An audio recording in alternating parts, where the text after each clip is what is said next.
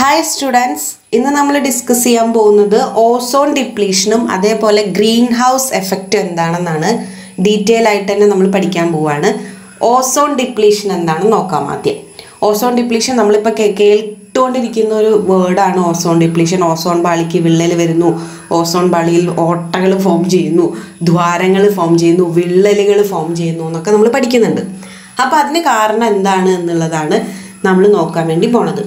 അപ്പോൾ ozone layer act as a protective umbrella coating for earth which prevents harmful U V radiation from the sun നമ്മുടെ ഭൂമിയുടെ മേലെയുള്ള ഒരു കൊട പോലത്തെ ഒരു ഒരു കോട്ടിംഗ് ആണ് ശരിക്കും ഓസോൺ പാളി എന്ന് പറയുന്നത്. അതായത് സൂര്യനിൽ നിന്നിട്ടുള്ള അതിശക്തമായിട്ടുള്ള അൾട്രാവയലറ്റ് കിരണങ്ങളിൽ നിന്നും ഭൂമിയെ ഒരു തരത്തിൽ പ്രൊട്ടക്റ്റ് ചെയ്യുന്ന ഒരു അംബ്രല പോലെയുള്ള കോട്ടിംഗ് ആണ് ശരിക്കും ഓസോൺ പാളി.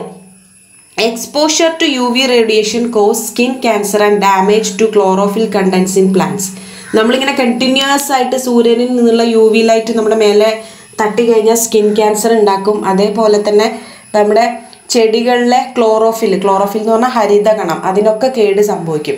അപ്പം അതിൽ നിന്നൊക്കെ നമ്മളെ പ്രൊട്ടക്റ്റ് ചെയ്ത് നിർത്തുന്നത് ശരിക്കും ഈ ഓസോൺ പാളിയാണ്. But the recent report says that there is some holes are formed in the ozone ഇപ്പോൾ ഇപ്പോഴത്തെ സ്റ്റഡീസ് നമ്മളോട് പറയുന്നത് എന്താണെന്ന് വെച്ച് കഴിഞ്ഞാൽ ഓസോണിന്റെ മേ എന്താ പറയുക ഓസോൺ പാളിയിൽ വിള്ളലുകൾ അതേപോലെ ഹോൾസുകളൊക്കെ ഫോം ചെയ്യാൻ തുടങ്ങിയിരിക്കുന്നു എന്നുള്ളതാണ്. അപ്പോൾ അതെങ്ങനെയാണ് ഓസോൺ ഫോം ചെയ്യാന്നുള്ള ഇക്വേഷനാണ് കാണിച്ചിരിക്കുന്നത്. അന്തരീക്ഷത്തിൽ ഓഫ് കോഴ്സ് ഓക്സിജൻ ഉണ്ട് ഓറ്റു ഉണ്ട്. അത് യു വി ലൈറ്റിന്റെ പ്രസൻസിൽ രണ്ട് ഓക്സിജൻ ഓക്സിജനുകളായിട്ട് മാറുന്നു. വീണ്ടും ഈ ഓക്സിജൻ എന്ത് ചെയ്യുന്നു? സിംഗിൾ ഓക്സിജനായിട്ട് കൂടി ചേർന്നിട്ട് ഓ ത്രീ ഫോം ചെയ്യും. ഓ ത്രീ ആണ് ശരിക്കും ഓസോൺ എന്ന് പറയുന്നത്. ഓക്കെ ഇനി എന്താണ് ഓസോൺ ഡിപ്ലീഷന്റെ മെയിൻ കാരണം? ഓസോൺ പാളിയിൽ ഇങ്ങനെ ഹോളും വിള്ളലും ഒക്കെ ഉണ്ടാവേണ്ട മെയിൻ കാരണം. The major cause of ozone ozone layer depletion is release of chlorofluorocarbon into the atmosphere C F C ഈ ക്ലോറോ ഫ്ലൂറോ കാർബണുകളാണ് മെയിനായിട്ടും ഓസോൺ പാളിയിൽ വിള്ളൽ ഉണ്ടാക്കുന്നത് the main source of C F Cs refrigerator and propellants main source എന്ന് പറയുന്നത് refrigerator ഫ്രിഡ്ജുകൾ അതേപോലെ എ സി ഉണ്ട് ടയർ കണ്ടീഷണർ അതേപോലെ പ്രൊപ്പലൻസ് പ്രൊപ്പലൻസ് എന്ന് പറഞ്ഞു കഴിഞ്ഞാൽ നമ്മൾ ഈ റോക്കറ്റൊക്കെ വിക്ഷേപിക്കാൻ വേണ്ടി ഉപയോഗിക്കുന്നതാണ് പ്രൊപ്പലൻസ് ഇതൊക്കെയാണ് സി എഫ് സിയുടെ മെയിൻ സോഴ്സുകൾ ഇവിടെ നിന്നൊക്കെയാണ് സി എഫ് സി ശരിക്കും അറ്റ്മോസ്ഫിയറിലേക്ക് വരുന്നത്. The other cause of ozone layer depletion is oxides of nitrogen ഈ സി എഫ് സി കൂടാതെ പിന്നെ ഓസോൺ ലെയർ ഡിപ്ലീഷന് കാരണം എന്ന് പറയുന്നത് നൈട്രജന്റെ ഓക്സൈഡുകളാണ് അപ്പോൾ ആരൊക്കെയാണ് ഓസോൺ ഡിപ്ലീഷന് കാരണം? ഒന്നാമത്തെ കാരണം സി എഫ് സി ആണ്. ക്ലോറോ ഫ്ലൂറോ കാർബണുകൾ ഫ്രിഡ്ജിൽ നിന്നും പ്രൊപ്പലൻസിൽ നിന്നൊക്കെ പുറത്തു വരുന്ന സി എഫ് സി അതേപോലെ തന്നെ നൈട്രജന്റെ ഓക്സൈഡുകൾ ഓക്സൈഡ്സ് ഓഫ് നൈട്രജൻ ആണ് മെയിൻ കാരണം.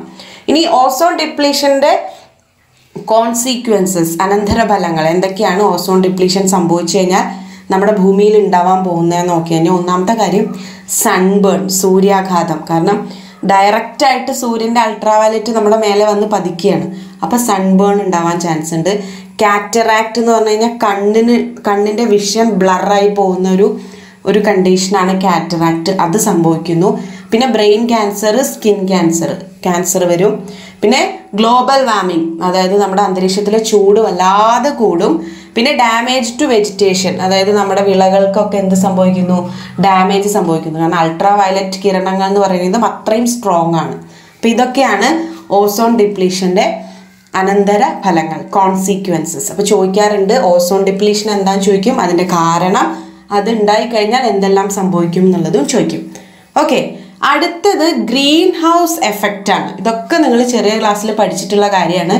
ഗ്രീൻ ഹൗസ് എഫക്റ്റ് എന്താണ് ഗ്രീൻ ഹൗസ് എഫക്റ്റ് എന്ന് ചോദിച്ചു കഴിഞ്ഞാൽ trapping of solar energy by atmospheric carbon dioxide is called greenhouse effect അതായത് കാർബൺ ഡൈ ഓക്സൈഡ് നമ്മുടെ അന്തരീക്ഷത്തിൽ വല്ലാതെ കൂടിക്കൂടി വരുന്നുണ്ട്. ഈ കാർബൺ ഡൈ ഓക്സൈഡ് കൂടിക്കഴിഞ്ഞാൽ ഈ കാർബൺ ഡൈ ഓക്സൈഡ് എന്ത് ചെയ്യുന്നു വെച്ച് കഴിഞ്ഞാൽ സൂര്യന്റെ എനർജിയെ ട്രാപ്പ് ചെയ്തിട്ട് ഭൂമിയിൽ എന്നെ നിർത്തും.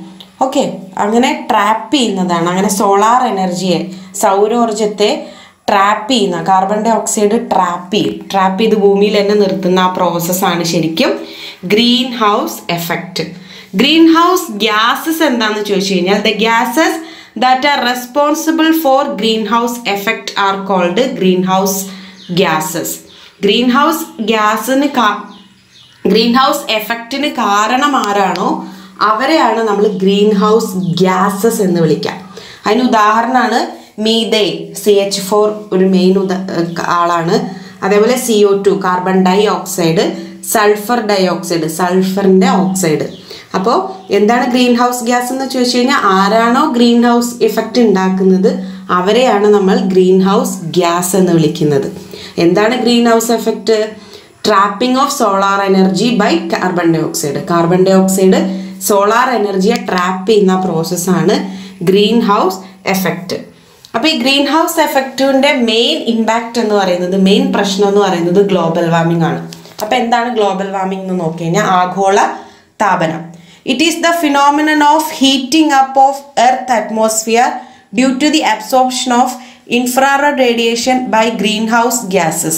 അതായത് ഈ കാർബൺ ഡൈ ഓക്സൈഡ് അതേപോലെ മീതൈൻ പോലെയുള്ള ഗ്യാസുകളുടെ അളവ് അന്തരീക്ഷത്തിൽ കൂടിക്കഴിഞ്ഞാൽ അവരെന്ത് ചെയ്യും? ഈ സൂര്യനിൽ നിന്നുള്ള എനർജിയെ ട്രാപ്പ് ചെയ്ത് പിടിച്ച് ഭൂമിയിൽ തന്നെ നിർത്തും. അങ്ങനെ സൂര്യനിന്റെ എനർജിയെ ട്രാപ്പ് ചെയ്ത് പിടിച്ച് നിർത്തി കഴിഞ്ഞാൽ നമ്മുടെ ഹെർ എർത്ത് എന്ത് ചെയ്യാൻ തുടങ്ങും? ചൂട് ആവാൻ തുടങ്ങും. അങ്ങനെ ചൂടാവുന്ന ആ പ്രോസസ്സിനെയാണ് നമ്മൾ ഗ്ലോബൽ വാമിംഗ് എന്ന് വിളിക്കുക.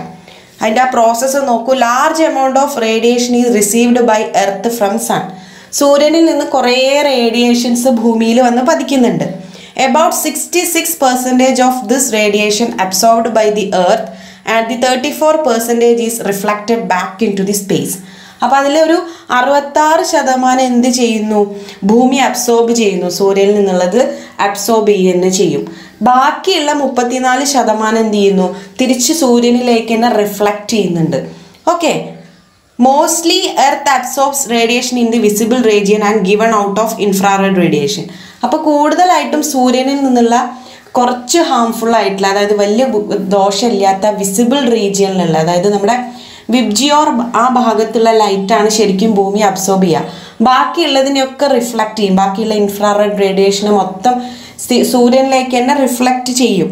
പക്ഷേ C O two present in atmosphere absorb this infrared radiation and hence the temperature increases C O two അല്ലെങ്കിൽ മീതെ ഇതിന്റെ കളവ് കൂടിക്കഴിഞ്ഞാൽ ഇവരെന്ത് ചെയ്യും ഈ ഇൻഫ്രാറെഡ് റേഡിയേഷനെ തിരിച്ച് സൂര്യനിലേക്ക് പോകാൻ സമ്മതിക്കാതെ ഭൂമിയിൽ തന്നെ ട്രാപ്പ് ചെയ്ത് നിർത്തും.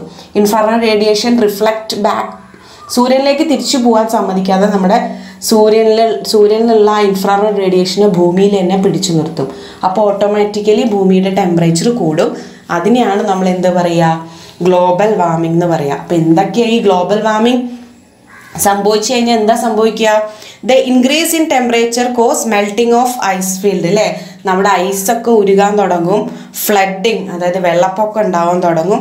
പിന്നെ ക്ലൈമറ്റ് മൊത്തം ചേഞ്ച് ആവും. അതേപോലെ ഈ കടലിലുള്ള ഓഷ്യൻ കറൻസിനൊക്കെ വേണ്ടി ചെയ്യും. ഭൂമി കുലുക്കം ഉണ്ടാവാം സുനാമി ഉണ്ടാവാം. ഇതെല്ലാം മാറും. കാരണം ടെമ്പറേച്ചർ ക്രമാതീതമായിട്ട് കൂടിക്കഴിഞ്ഞാൽ നമ്മുടെ ക്ലൈമറ്റ് മൊത്തം ചേഞ്ച് ആവും. വെള്ളപ്പൊക്കം ഉണ്ടാവാം ഐ ഐസ് ഉരുകാം. അല്ലേ? നമ്മുടെ എന്താ പറയുക ചൂട് കൂടിക്കഴിഞ്ഞാൽ നമ്മുടെ വിളകളൊക്കെ നശിച്ചു പോകും അല്ലേ? അപ്പോൾ ഇങ്ങനെ കുറേ പ്രശ്നങ്ങളുണ്ട് ഗ്ലോബൽ വാർമിംഗ് അപ്പോൾ ഗ്ലോബൽ വാർമിങ്ങിന്റെ മെയിൻ കാരണം ഗ്രീൻ ഹൗസ് എഫക്റ്റാണ് കാരണം കാർബൺ ഡൈ ഓക്സൈഡ് മീതയും പോലെയുള്ള ഗ്യാസുകളുടെ അളവ് കൂടിക്കഴിഞ്ഞാൽ അവരെന്ത് ചെയ്യും? സൂര്യനിൽ നിന്നുള്ള ഇൻഫ്രാറെഡ് റേഡിയേഷനെ ഭൂമിയിൽ തന്നെ പിടിച്ചു നിർത്തും. തിരിച്ചു പോകാൻ സമ്മതിക്കില്ല. അങ്ങനെ പിടിച്ചു നിർത്തി കഴിഞ്ഞാൽ ഭൂമിയുടെ ടെമ്പറേച്ചർ കൂടും. അതിനെയാണ് നമ്മൾ ഗ്ലോബൽ വാർമിംഗ് എന്ന് വിളിക്കുക ഗ്ലോബൽ വാർമിംഗ് സംഭവിച്ചു കഴിഞ്ഞാൽ ഒരുപാട് പ്രശ്നങ്ങളുണ്ട്. ഒന്നാമത്തെ കാര്യം ഐസ് ഉരുകിയിട്ട് വെള്ളപ്പൊക്കം ഉണ്ടാവാൻ ചാൻസ് ഉണ്ട്. ക്ലൈമറ്റ് മൊത്തം ചേഞ്ച് ആവാൻ ചാൻസ് ഉണ്ട്. വിളകളൊക്കെ നശിക്കാൻ തുടങ്ങുന്നു. ചൂട് കൂടുതലല്ലേ മനുഷ്യന്മാർക്കും ജീവജാലങ്ങൾക്കും ഒക്കെ കേടാണ്. ഓക്കെ ഇനി എങ്ങനെ നമുക്ക് ഗ്രീൻ ഹൗസ് എഫക്റ്റിനെ കൺട്രോൾ ചെയ്യാമെന്ന് ചോദിച്ചു കഴിഞ്ഞാൽ reduce the use of fossil fuels ഫോസിലിൽ നിന്നുള്ള ഇന്ധനങ്ങളുടെ അതിന്റെ അളവ് കുറയ്ക്കാം മെയിനായിട്ട് പെട്രോൾ ഡീസൽ ഇതിന്റെയൊക്കെ അളവ് കുറയ്ക്കുക എന്നുള്ളതാണ്. Conserve forest and promote afforestation അതായത് വനങ്ങൾ സംരക്ഷിക്കുക വനങ്ങൾ വെച്ച് പിടിപ്പിക്കുക. ഫോറസ്റ്റേഷൻ എന്ന് പറഞ്ഞാൽ വനവൽക്കരണം. വനങ്ങൾ വെച്ച് പിടിപ്പിക്കുക. ഉള്ള ഫോറസ്റ്റിനെ കൺസേർവ് ചെയ്യുക പ്രൊട്ടക്റ്റ് ചെയ്യുക. പിന്നെ ban C F C and nuclear explosion അതായത് C F C chloro fluoro കാർബണുകളാണ് ഏറ്റവും മെയിൻ പ്രശ്നം. അവരെ ബാൻ ചെയ്യുക സി എഫ് സി എവിടെയൊക്കെ ഉപയോഗിക്കുന്നുണ്ടോ ആ ഉപകരണങ്ങളൊക്കെ ബാൻ ചെയ്യുക ന്യൂക്ലിയർ എക്സ്പ്ലോഷൻ അതായത് ഈ ആണവമായിട്ടുള്ള എക്സ്പ്ലോഷൻ സ്ഫോടനങ്ങളൊക്കെ ഉണ്ടാവില്ലേ? ന്യൂക്ലിയർ സ്ഫോടനങ്ങളൊക്കെ കുറയ്ക്കുക പിന്നെ reduce the use of automobiles വാഹനങ്ങളുടെയൊക്കെ ഉപയോഗം കുറയ്ക്കാം. പരമാവധി പബ്ലിക് ട്രാൻസ്പോർട്ടുകൾ ഉപയോഗിക്കുക ഒരാൾക്ക് പോവാൻ ഒരു കാറ് എന്നുള്ള ആ കോൺസെപ്റ്റൊക്കെ മാറ്റിയിട്ട് ഓട്ടോമൊബൈൽസിന്റെ യൂസ് കുറയ്ക്കുക. ഇതൊക്കെ ചെയ്ത് കഴിഞ്ഞാൽ ഗ്ലോബൽ വാർമിംഗ് താനെ കുറയും. അപ്പോൾ ഇത്രയും കാര്യങ്ങളാണ് പറഞ്ഞത്. എന്തൊക്കെയാണ് പറഞ്ഞത്? ഓസോൺ ഡിപ്ലീഷൻ പറഞ്ഞു. ഓസോൺ ഡിപ്ലീഷന്റെ മെയിൻ കാരണം സി എഫ് സി ആണ്. ക്ലോറോ ഫ്ലോറോ കാർബണുകളാണ് പിന്നെ ഗ്രീൻ ഹൗസ് എഫക്റ്റ് എന്താന്ന് പറഞ്ഞു. സോളാർ എനർജിയെ ട്രാപ്പ് ചെയ്ത് ഭൂമിയിൽ തന്നെ നിർത്തുന്ന പ്രോസസ്സിനെയാണ് ഗ്രീൻ ഹൗസ് എഫക്റ്റ് എന്ന് പറയുക അതിന് കാരണക്കാരായിട്ടുള്ള ഗ്യാസുകളെ നമ്മൾ ഗ്രീൻ ഹൗസ് ഗ്യാസസ് എന്ന് വിളിക്കും. അതിന് ഉദാഹരണമാണ് സി ഒ ടു മീതൈനൊക്കെ അങ്ങനെ ട്രാപ്പ് ചെയ്ത് കഴിഞ്ഞാൽ സോളാർ എനർജിയെ ട്രാപ്പ് ചെയ്ത് കഴിഞ്ഞാൽ നമ്മുടെ ഭൂമിയുടെ ചൂട് കൂടും. അങ്ങനെ ഭൂമിയുടെ ചൂട് കൂടുന്ന ആ പ്രോസസ്സിനെയാണ് നമ്മൾ ഗ്ലോബൽ വാർമിംഗ് എന്ന് വിളിക്കുക. ഗ്ലോബൽ വാർമിങ്ങിന്റെ പ്രധാന പ്രശ്നങ്ങൾ ക്ലൈമറ്റ് ചേഞ്ച് സംഭവിക്കുന്നു. ഐസൊക്കെ ഉരുകാൻ തുടങ്ങും. വെള്ളപ്പൊക്കം ഉണ്ടാവും. പിന്നെ നമ്മുടെ വിളകളൊക്കെ നശിക്കും അല്ലേ അപ്പോൾ അതിനെ എങ്ങനെ നമ്മൾ പ്രിവെന്റ് ചെയ്യുമെന്ന് ചോദിച്ചു കഴിഞ്ഞാൽ മെയിനായിട്ട് പറഞ്ഞിട്ടുള്ളത് ഒന്ന് ഫോസിൽ ഫ്യൂവൽ അതായത് പെട്രോൾ ഡീസൽ ഇതിന്റെയൊക്കെ ഉപയോഗങ്ങൾ കുറയ്ക്കുക. പിന്നെ ഫോറസ്റ്റ് വെച്ച് പിടിപ്പിക്കുക. ഉള്ള ഫോറസ്റ്റിനെ പ്രൊട്ടക്റ്റ് ചെയ്യുക. പിന്നെ ഓട്ടോമൊബൈൽസിന്റെയൊക്കെ ഉപയോഗം കുറയ്ക്കുക. സി എഫ് സി പുറത്ത് വിടുന്ന അതായത് ക്ലോറോ ഫ്ലൂറോ കാർബണുകൾ പുറത്ത് വിടുന്ന ഉപകരണങ്ങളുടെയൊക്കെ ഉപകരണങ്ങളൊക്കെ ബാൻ ചെയ്യുക ഇത്രയും കാര്യങ്ങളൊക്കെ ചെയ്ത് കഴിഞ്ഞാൽ ഈ കാര്യങ്ങളൊക്കെ നമുക്ക് കൺട്രോൾ ചെയ്ത് കൊണ്ടുപോകാനായിട്ട് സാധിക്കും. ഓക്കെ അപ്പോൾ ഇനി പുതിയൊരു ടോപ്പിക്കുമായിട്ട് അടുത്ത ക്ലാസ്സിൽ കാണാം. Okay thank